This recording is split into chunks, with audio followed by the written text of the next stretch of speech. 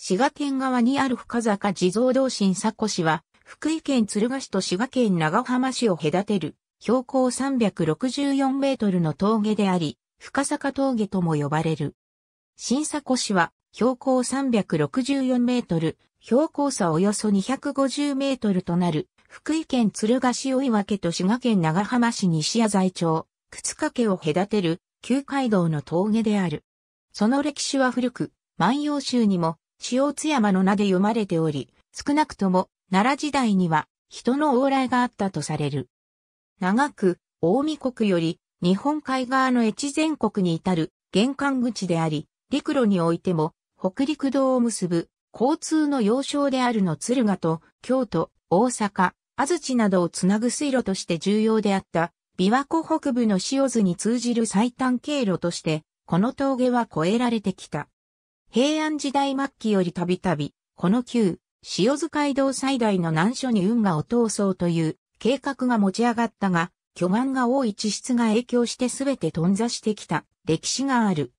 特に初めて、平の清盛が平の重盛に命じた運河建設において、実際に建設が進められたが、その際も巨岩にぶつかり、これを砕こうとすると怪我人が続出したという。この巨岩は石地蔵であったと言われ、その地蔵物を祀ったという伝承が残っている。この地蔵が今に現存する深坂地蔵とされる。車両での通行は不可能な峠である。自転車などの軽車両でも走行は不可能な登山道に近いハイキングコースとなっている。このコースは現在深坂古道と呼ばれており、中部北陸自然歩道の一部となっている。登山というほど長い道のりではないが、何の装備もせずに越えるには厳しい山道で、季節によっては月のワグマの目撃例もあるので注意が必要である。途中には、かつてこの峠を越えた歌人の笠金村や紫式部の歌の説明版が設置されている。交通の基盤は江戸時代に開かれた新道や古市に譲っていることから、ひっそりと佇む昔から変わらない峠の風景が味わえる場所である。林正一、ゆり山登山七新佐古市へ、中日新聞プラス中日新聞社、2019年5月29日。